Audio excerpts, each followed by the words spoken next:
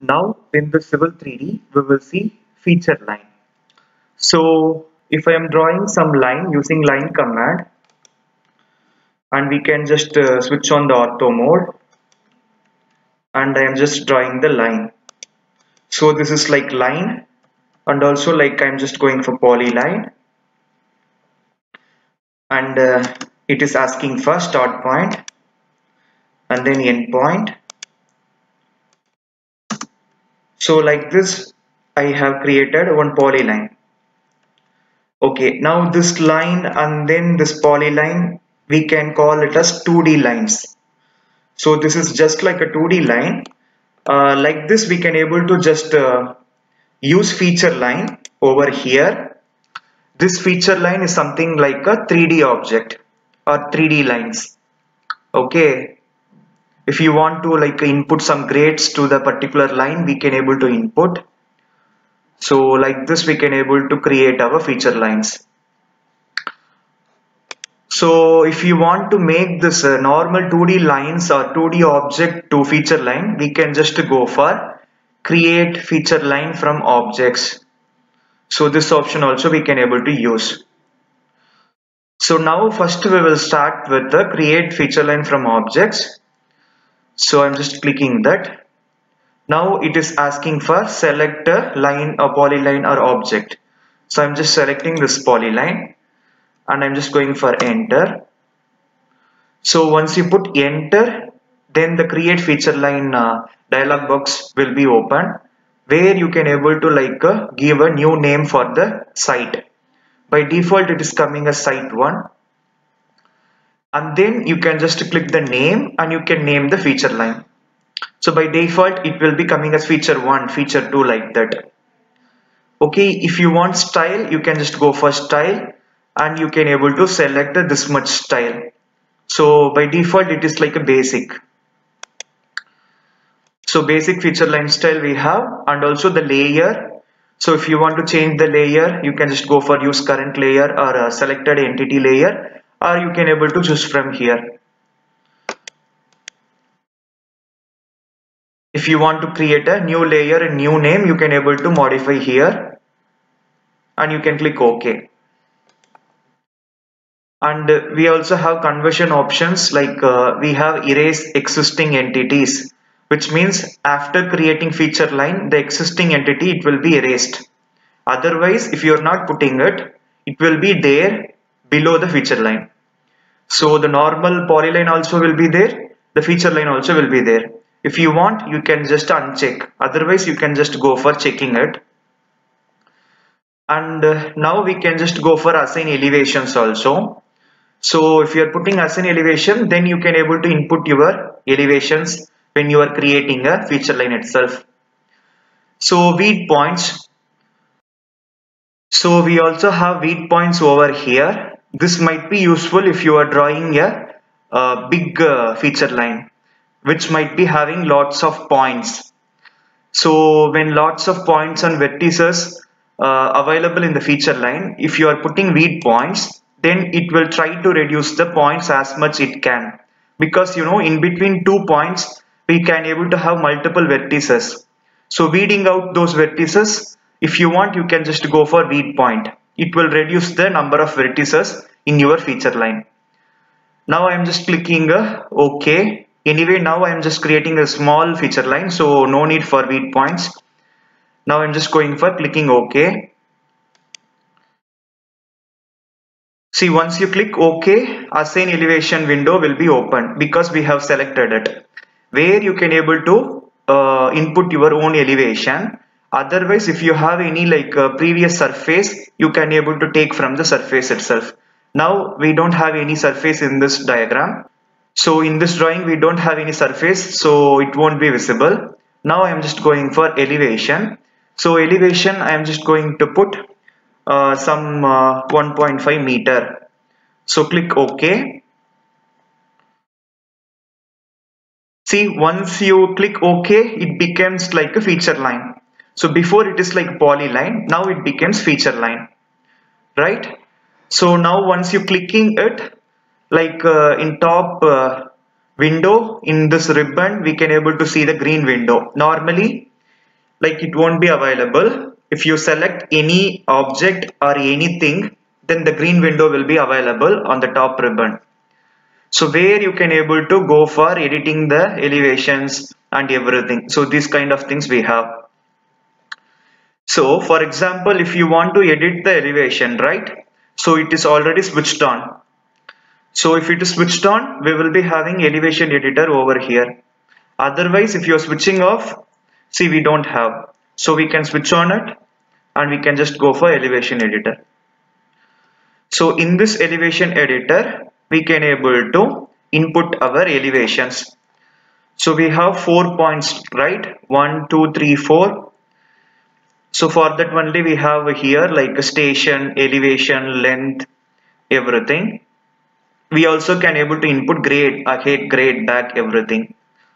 Okay. Here for example I am selecting the first one. See? So first one we can able to see the triangle. This is our first point. So the next one so the second uh, one the triangle shifting to the second point. And the third point the fourth point and then again the fifth point. So like this we have this closed uh, feature line right? And all together having 1.5 meter elevation. If you want to change the elevation all together you can just go here. So before that how much you want? All together if you want like a 2 meter you can just click it and then you can able to put a 2 meter. Okay now what we can do means you can use this up arrow or down arrow okay low incrementally raise incrementally. For example I'm just putting up. So altogether it become 3.5 and see here it is only selected now that's why. You should uh, go for this. So this is like unselect all rows okay now it will be selecting everything. Then we can directly uh, go for now I'm just going for undo. Now I'm just putting this up arrow. See now all together we have 3.5 so that's why if you are selecting something like this uh, then you should uh, go back to this icon so that it will select again the all rows. Okay now we can just go for up arrow again 5.5 if you want to put down arrow 3.5 all together we are getting the result. If you want to edit only one point you can select it and you can able to put some value over it there. So 5 meter I'm putting. So like this manually also we can able to input. See this is like having first so the same point will be acting for the final also now so it is like changing 5 and 5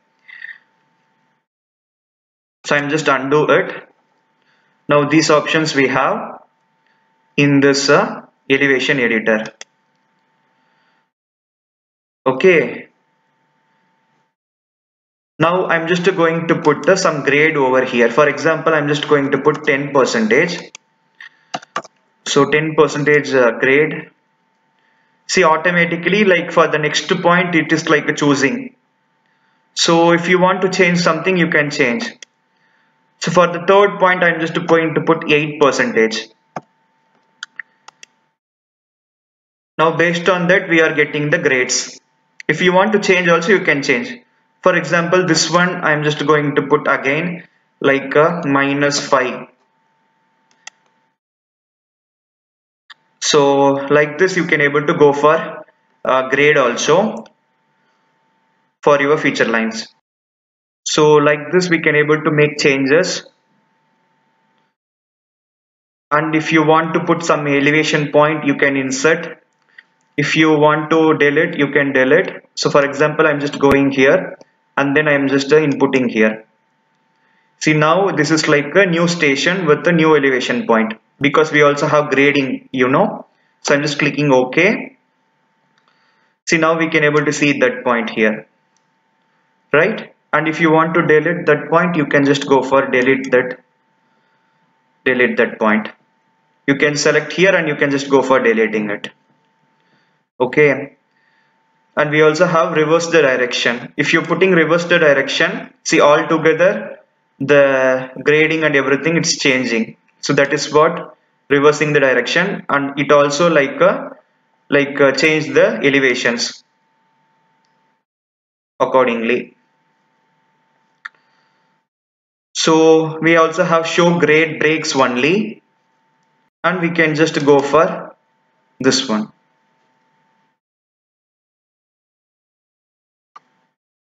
So once you done everything we can just go for this icon over here. And we have some options here. So select a feature line parcel line or a survey figure. Or if you want you can just go for zoom to and this one for quick profile. And this one for raising or lowering. See from here you can able to click it and you can able to mention the value over here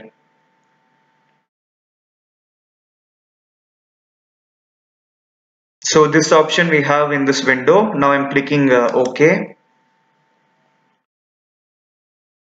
Okay now I can uh, show you how it looks like.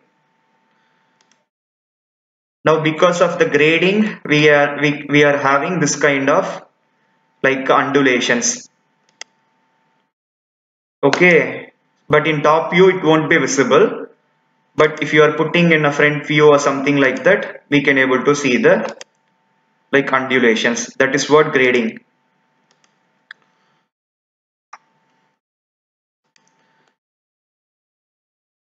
so this one like a feature line using object.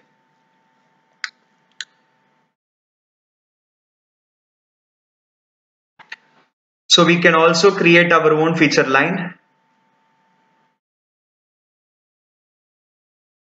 So for that I'm just taking a create feature line where you can able to take the site and you can name it and you can choose the style you want.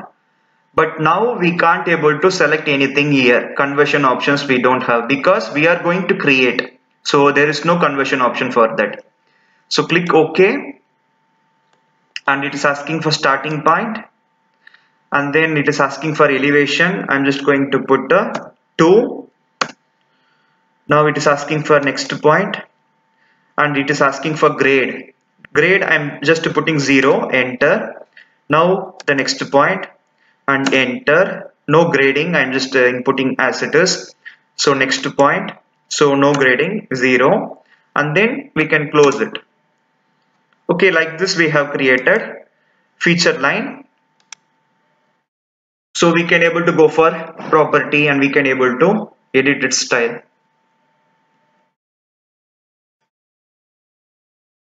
so normally this create feature line and then create feature line from objects only we will be using uh, most of the cases in the Civil 3D platform.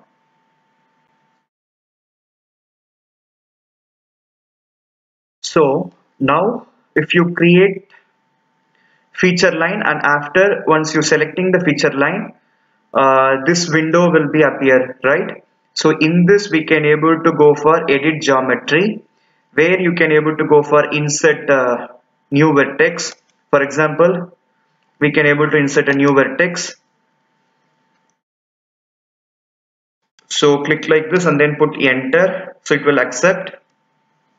And if you want to delete something we can able to delete. And then escape it will go. Again if you are clicking so these options we can use we can able to make use this for breaking. So I'm just uh, selecting it and then so this kind of break we can able to go for our feature line. And this is for trimming. So if you have some line over here and if you want to trim it you can able to trim. So I'm just going for trim so cutting edges. So like this we can able to trim. And again I'm just selecting. If you want to join you can just click uh, this one. And then for example if I'm just having see line from here. So o snap we can switch on like o snap. And where you can just uh, select the endpoint only click ok. See now I'm just going for L and then I'm just drawing a line joining this. Now if you want to join just go for joining. So join. So select this. But this is not like a feature line right? So it won't uh, accept it so we should make this also like a feature line. So I'm just going for from objects. So click OK. And then click OK. Now we have feature line. Now I'm just clicking it and I'm just going for join and select this line also. Now you put enter. Now all became one entity. Now we have a closed feature line right so like this we can able to make use of this edit geometry. Tools over here in the top ribbon. And uh, reverse we, we already seen. So it will reverse everything. And we have edit curve. So if you want to edit curve or something you can able to go for now if you want fillet you can just go for fillet. And it is asking for radius right? I'm just putting 10 meter but uh, might be huge now so that's why it's not coming. So fill fillet and uh, we can able to put what kind of fillet you want like that. See we have fillet over here. And we also have fit curve. Specify point or point options. Based on that we will be getting a fit curve. Okay tolerance we can able to put and minimum number of segments we can able to put and click ok. So that is for fit.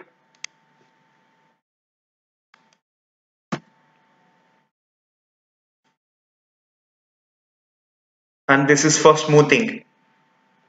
See now it becomes smooth. Now we also having weed points. See it will remove unnecessary point from feature line. So I'm just clicking it and we can just go for select a feature line. I'm just selecting uh, this one. And it is asking for weeding factors. You can able to input your weeding factors. And you click OK. So now we don't have any like uh, points. So 0 of 8 vertices will be weeded so based on the entries here we will be getting the result. Now click OK and we also have create the feature line from a stepped offset.